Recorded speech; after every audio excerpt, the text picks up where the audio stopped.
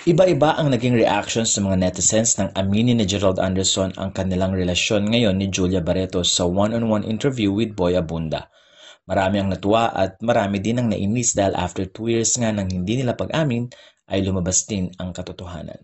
Pero ang hindi din masyadong nagustuhan ng ilang netizens ay ang pagsabi ni Gerald na toxic ang naging relasyon niya with Bea Alonso na talaga namang bigla na lang siyang nawala.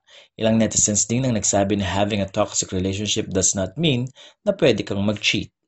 May mga netizens din na nagsabi na nagawa din ni Julia na magsinungaling sa mga tao pero after 2 years din ay mukhang nakamove on na rin naman ang lahat.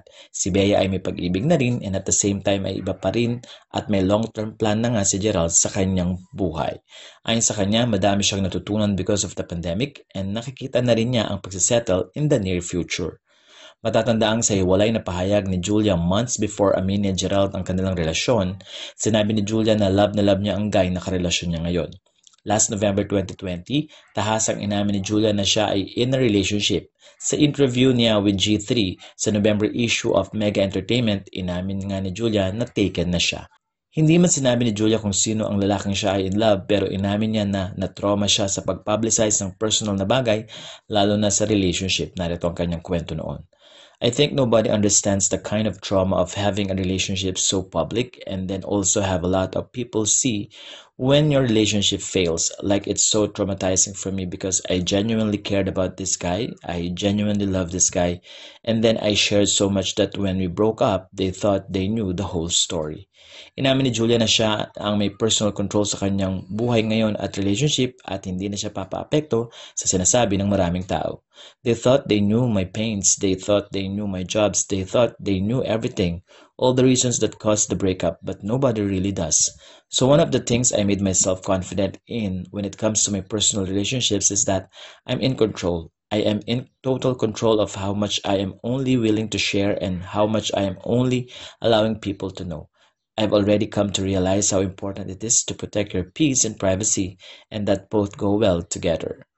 Bago pa man umamin si Gerald na sila na ni Julia, ilang mga photos din ang kumalat sa social media na madalas nakikita si Julia sa resort ni Gerald sa Zambales. Ilang mga outings din na spotted ang dalawa.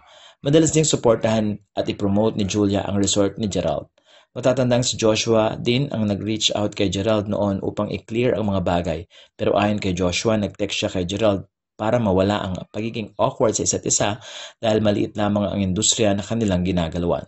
Sinabi ni Joshua na pareho sila ng handler ni Gerald at tinuturing niyang kuya ito. Narito ang kanyang sinabi.